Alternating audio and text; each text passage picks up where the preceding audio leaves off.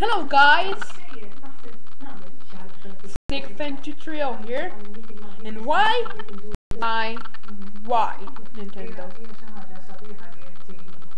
Well, this doesn't bother me that much to me, but it may bother a lot of other people.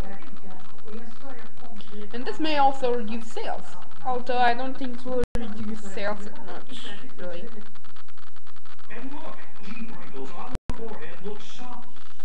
Uh, the Aqua Blue 3DS got discontinued in Japan. Now that's bullshit. I mean real bullshit. I mean why? What is the reason?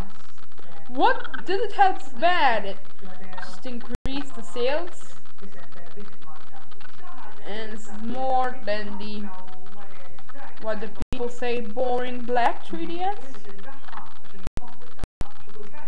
Although I like the color. I have the color. But why? I mean, uh, didn't have anything bad or something. And does that mean maybe that It was like a limited edition?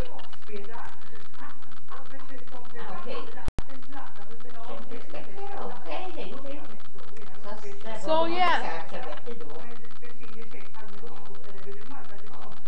We hope that this doesn't come to the other places. That this stays in China. In Japan. And doesn't happen here. We hope so.